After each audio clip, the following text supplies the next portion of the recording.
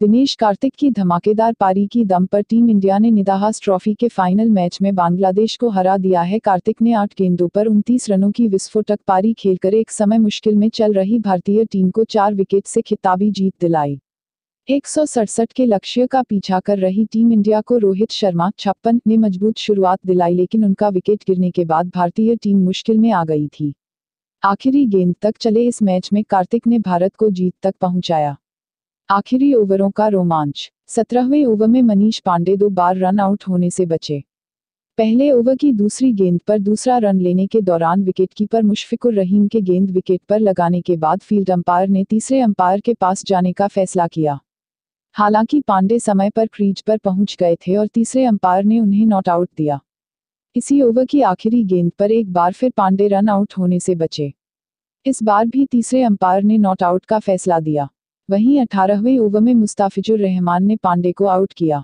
Over की पहली पाँच गेंदों पर विजय शंकर एक भी रन नहीं बना पाए और पांडे पर बड़ा शॉट खेलने का दबाव बना। इसी कोशिश में पांडे अपना विकेट गंवा बैठे। मुस्ताफिजुर के इस ओवर ने बांग्लादेश को मैच में मजबूती से खड़ा कर दिया। Com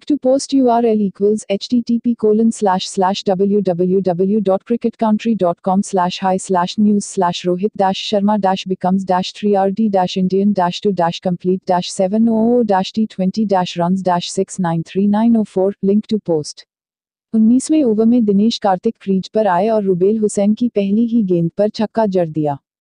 दूसरी गेंद पर कार्तिक ने लॉन्ग ऑन पर शानदार चौका लगाया।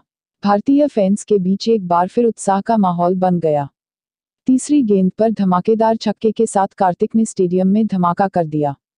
चौथी गेंद डॉट रही, जिसके बाद अगली गेंद पर कार्तिक ने दो रन चुरा लिए। आखिरी गेंद पर चौके के साथ कार्तिक ने ओवर खत्म किया। बीसवें ओवर में भारत को जीत के लिए बारह रनों की ज़रूरत थी। आखिरी ओवर कप्तान शाकिब ने सौम्य सरकार को दिया। स्ट्राइक पर शंकर थे, पहली गेंद वाइड रही। साथ ही मुशफिकुर ने शंकर को रन आउट करने का मौका भी गंवा दिया जो क्रीज से काफ़ी बाहर निकल गए थे। दूसरी गेंद पर शंकर ने एक्स्ट्रा कवर पर खेलकर एक रन लिया और कार्तिक को स्ट्राइक दी।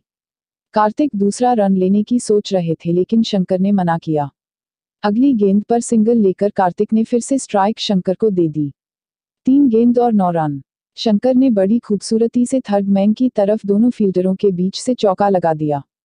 अगली गेंद पर एक और बड़ा शॉट लगाने की कोशिश में शंकर कैच आउट हो गए।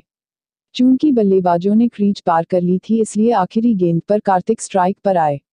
एक गेंद पर पाँच रनों की ज़रूरत थी और कार्तिक ने शानदार छक्का लगाकर भारत को निदाहास ट्रॉफी जिताई। निदहास ट्रॉफी फाइनल, कार्तिक के हवाई छक्कों ने बांग्लादेश को चटाई धूल, भारत का सीरीज़ पर कब्जा। निदहास ट्रॉफी के फाइनल और बेहद रोमांचक मैच में भारत ने बांग्लादेश को चार विकेट से हराकर खिताब पर कब्जा कर लिया। दिनेश कार्तिक के महत्वपूर्ण 28 रन की बदौलत भारत ने यह मुकाम हासिल किया। हालाँकि आखिरी दो ओवर शेष रहते मैच बांग्लादेश के पाले में था, जिसे दिनेश कार्तिक ने आखिरी गेंद पर छक्का मारकर छीन लिया।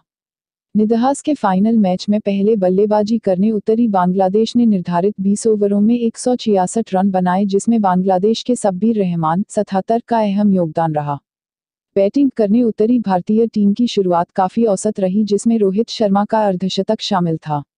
रोहित के आउट होने के बाद बांग्लादेश भारत पर हावी होते दिखाई दिया। आखिरी दो ओवर का रोमांच। आखिरी दो ओवर में भारत को जीत के लिए 34 रनों की दरकार थी। क्रीज पर सेट बैट्समैन मनीष पांडे के आउट होने के बाद दिनेश कार्तिक विकेट पर थे। कार्तिक ने आते ही अपनी मंशा ज़ाहिर कर पहली गेंद पर छक्का मारा, जिसमें 19वें ओवर में कार्तिक के दो छक्कों और दो चौकों की बदौलत कुल 22 रन बने। आखिरी ओवर में भारत को जीत के लिए 12 रन चाहिए थे, लेकिन शंकर की लचा बैटिंग को देखकर मैच हारने का संकट भारत पर था। आखिरी दो गेंदों पर जीत के लिए पाँच रन की ज़रूरत और शंकर कैच देकर चलते बने। उसके बाद विकेट पर दिनेश कार्तिक थे और जीत के लिए पाँच रन चाहिए थे। कार्तिक ने आखिरी गेंद पर शानदार छक्का जड़कर बांग्लादेश से नागिन डांस करने का हक छीनकर साबित कर दिया कि भारत किसी से कम नहीं।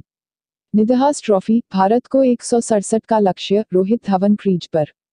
जानिए ऐसे क्रिकेटर्स के बारे में जो है अपनी बीवी के दूसरे पति। हसीन अब भी मेरे पैसों का इस्तेमाल